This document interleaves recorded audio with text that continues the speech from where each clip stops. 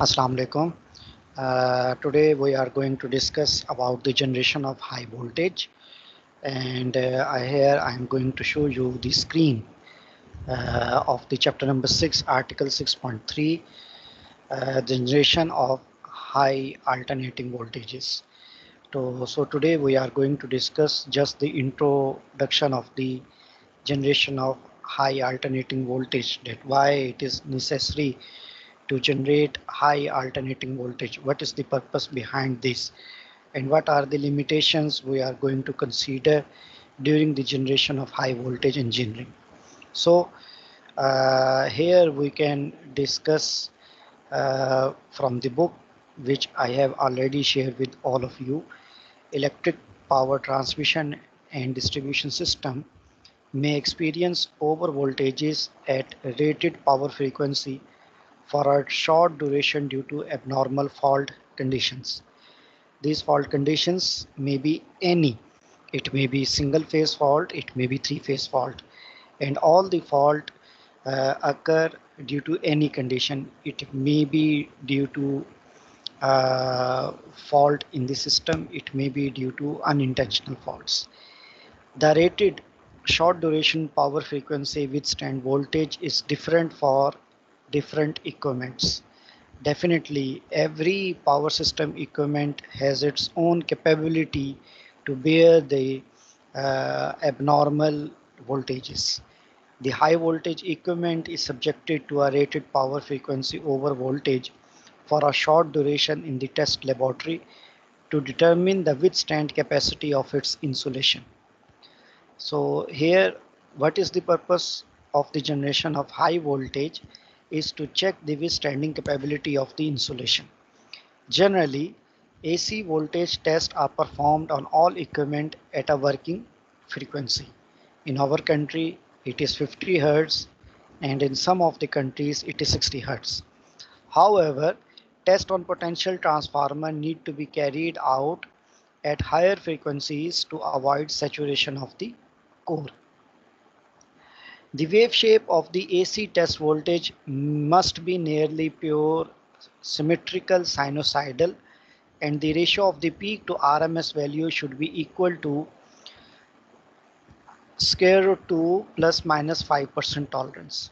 So whenever we are going to perform the test on the test object, the ultimate condition is that the equipment which is going to generate the high voltage it must produce the symmetrical sinusoidal waveform and the ratio between the peak and RMS value should be this one. The equipment used in power system is of three phase type. All the power system right from the generation till the distribution end is three phase but here the condition is that but the test voltage generated is a single phase voltage to ground but the equipment which we are going to use uh, to generate the high voltage what type of voltage is it is going to produce? It is the single phase voltage to ground. In other words the insulation of one phase of the equipment can only be tested at a time. Okay? Every phase is tested separately. If we consider that there are three phases named red yellow and blue, then we are going to test each phase separately. The test voltage is applied across capacitive loads. Okay, uh, capacitive load includes capacitance of the test object, measurement devices, and other additional capacitances, including stray capacitance with negligible power dissipation. In the previous lecture before the mid exam we already know that what is the value of the capacitance of the each equipment and it is elaborated and tabulated in table 6.2 the nominal capacitive current required to be supplied during testing may vary from few tens of milliampere to few ampere depending upon the test voltage ranging from 100 kV to 1000 kV. So these are just the uh, nominal values of the current and voltage uh, which is presented here. the kVA output of the test unit therefore will be small. So the equipment which we are going to generate the high voltage, its rating output kVA will be small. And what are the precautionary measures we are going to use is proper damping resistor need to be inserted between the high voltage test circuit sorry proper damping resistor need to be inserted between the high voltage test unit and the test object to limit the current and to avoid any over voltage within the test circuit in the event of breakdown of insulation being tested. So these are the precautionary measure. We are going to introduce the damping resistor. Why we are going to introduce the damping resistor? Because the amount of the voltage is so high that it might be possible that the insulation may break and the current or the high voltage stress may distort the human person and the other allied equipment. So it is better to provide the damping resistor between the high voltage test unit, high voltage generating unit and the test object. Test object may be anything. It may be insulator, it may be isolator, it may be bushing, it may be capacitor, it may be cable or any other thing. Okay. Okay. After this, we can say the efforts are also needed to keep the size of the test equipment as small as possible. Okay. Uh, so the target is that we are going to prepare such type of high voltage generating equipment whose size is small. This is all the more important than the test equipment may have to be used for field testing.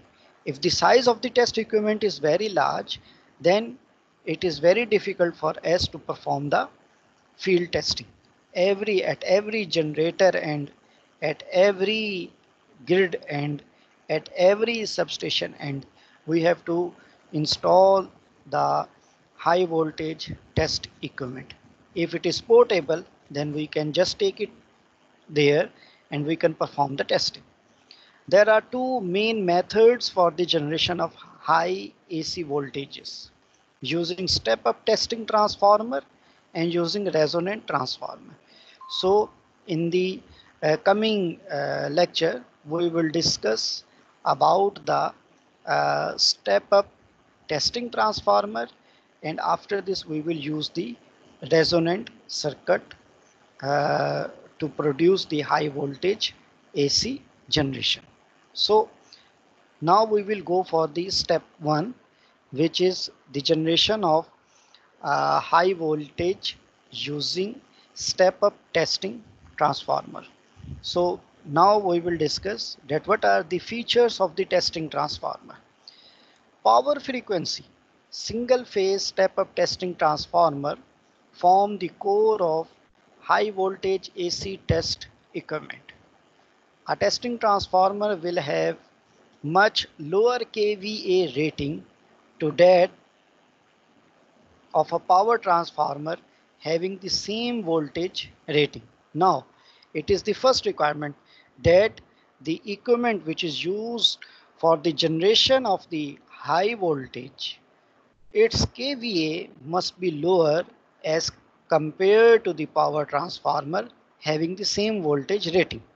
Moreover, now the first condition is that the kVA rating should be small. Now what is the benefit of the short kVA rating? The testing transformer kVA rating will be a short term rating because here we are not going to supply the power we are not going to generate the high voltage for a long duration not for continuously supplying the voltages to the load. But here we are just going to perform the test as the test is for for a few moments for a few minutes so it is better to use the low kVA rating because we are use it for a short term purpose and the cooling of the windings will not be a major problem as we are not going to supply the voltages for a long time. So there is no need of cooling of the winding. However, in power transformer, we make all the possible arrangements for the cooling of the winding and all the allied things. Now the next one is that the core flux density in a test transformer has to be kept to a low value as related to the core flux density in a power transformer.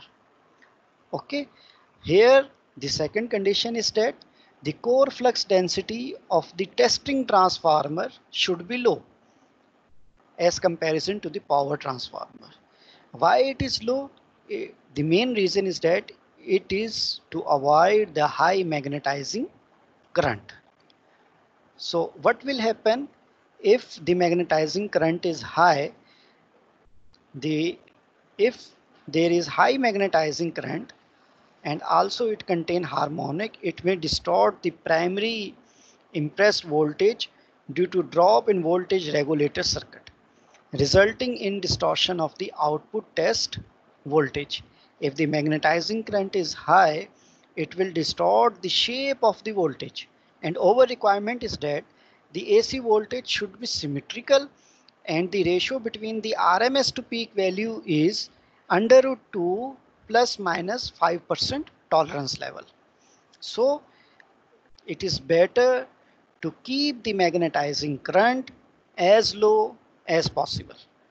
A testing transformer designed at rated voltage and working frequency may also be used at rated voltage and higher frequencies. Okay, now we are going to use it at rated voltage and higher frequency. Then what is the condition for this? With a low voltage to frequency ratio, at the same rated voltage, the core flux density decreases and so there is no chance of core getting saturated. Now the condition is that we have to maintain the ratio between the voltage and the frequency. And our condition is that we have to keep this ratio low. Why to keep this ratio low? To minimize the core flux density. If we are successful in this, then we can avoid the core from the saturation.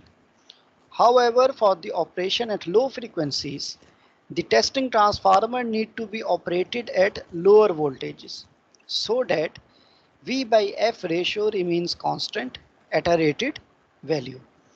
Another point which need to be emphasized is that the testing transformer should be very compact with a low insulated high voltage winding.